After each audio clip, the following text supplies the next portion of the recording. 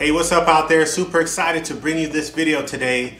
Today, this video is all about featuring the custom all aluminum dry hatches from Nate's Custom Boats that will go into this Jon boat build. This is a key part of this Jon boat build and wanted to take time to do a special video just on the hatches. So today we're doing an unboxing and I'm also going to talk about these hatches a bit. Nate's dry hatches and a lot of other cool products are all on TBNation's website, which also leads to the giveaway.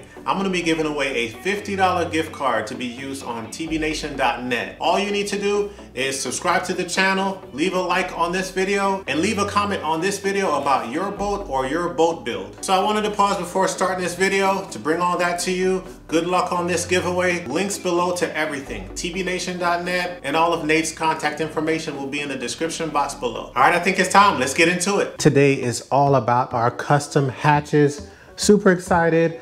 Got them in. These are hatches custom made by NCB, that's Nate's Custom Boats. These are some very special lids. A lot of this boat design was designed around these hatches completely. And if you don't know who Nate is, check out Nate Custom Boats on Facebook, Instagram, and YouTube. Especially Instagram, he has some really cool pictures out there that shows you some of what he has to offer. Not only does he do the most common sizes out there in boats, but he also does custom work. So if you have an idea, he'll go ahead and put it together for you. And Nate is a good guy. He's someone who will take his time and sit down and talk to you about your build and get you exactly what you need. All right, so let's get this thing open. So right now I'm just starting with the front hatch and then we'll do the rear hatch for you.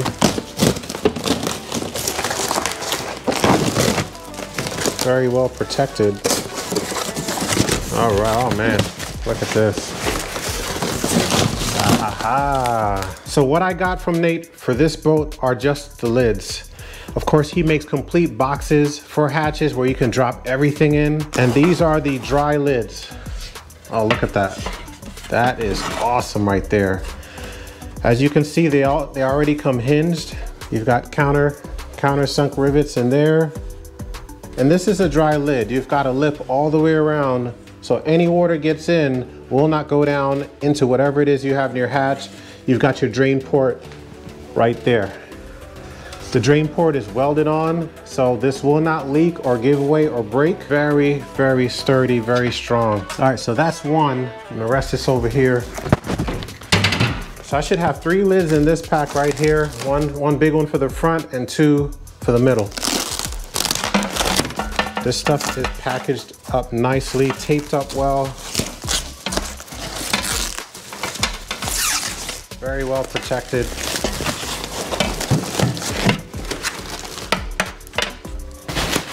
And of course you can get these powder coated black. I'm probably gonna end up spray painting these myself. Depending on whether you're gonna carpet these or use HydroTurf, you let him know and he'll get the spacings right to accommodate that. This is another one, the same size as the one I just took out. Man, this thing is sturdy. And then here's the big main hatch for the front of the boat, a 16 by 16 hatch. The other two are 12 by 16s. And the beauty about these, you just drop them in. This saves a lot of time on a build. Not only is it all put together perfectly, I mean, this thing, there's no creaking, nothing. Hinges are up. All of these lids will be turfed and the turf will bury this hinge. This will save a lot of time on your build. So literally, first time I'm ever doing this, guys. Nate and I talk. What you do is let him know what size you need and he'll make the lid exactly for the size that you need, even if he doesn't have it already in stock. And let's see if I did my job right and get this all framed up to accommodate this. Look at that. Look at that. Look at that. All right, and here's the second one. I'm gonna drop this in as well. All right, so let's move up to the front of the boat where we've got our big 16 by 16 hatch opening. And there you go. Oh my gosh. Look at that. Look at that. This is awesome. This is absolutely awesome. So from a building standpoint, this saves a lot of time. As you can imagine, if I was to build these hatches similar to what I did on my boat, do wood hatches, I would have to do a lot more work. and everything from cutting the wood, sealing the wood, and sealing takes days. Gluing, carpeting, the whole nine yards takes a long time and a lot of hours. So this right here not only speeds up your build, but will last forever. This is all aluminum. So I'll be putting hinges on here, installing latches, probably paint this black. Actually, I know I'll paint this black. Paint inside here black as well, give it a nice pop when you open it. If you needed to, Nate does it all. You've got the actual drop-in boxes for these hatches. He even does livewell guys, so check him out. So now for the fourth hatch, and this is the biggest hatch. Man, this thing is wrapped so tight, I can't even find where to cut it open from. All right, looks like I found a seam.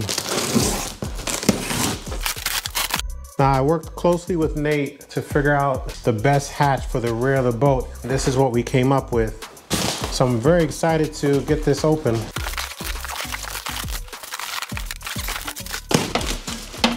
All right, here are the tubes I mentioned to you.